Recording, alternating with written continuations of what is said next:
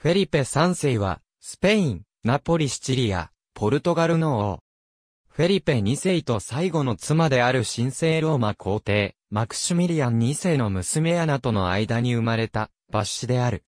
ポルトガル王としては、フィリペ2世。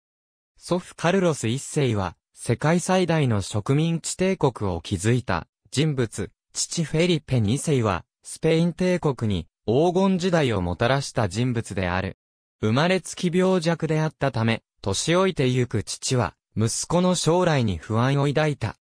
大打王と呼ばれた、フェリペ3世の23年に及ぶ知性を取り仕切ったのは、主席大臣のレルマ公爵あるいは、ウセダ公爵であったが、彼らは、この大帝国の国政を担うにはいささか、力不足であり、フェリペ2世が残した世界帝国は衰退への道を歩み始めることとなる。1609年、スペイン全土からモリスコの追放が行われた。その数は27万人に及び、ほとんど農民であったため、スペイン農業は大打撃を受け、深刻な食料不足に陥ったと言われる。なお、1615年1月30日には、慶長剣王施設の八世倉常長と面会している。1599年に、マクシミリアン2世の命にあたるマルガリータと結婚、以下の8人の子供を設けた。フェリペ3世の聖母アナは、フェリペ2世の命である。オーストリア・ハプスブルク家との間の三神党クラスの禁止新婚による出生は、この王から始まる。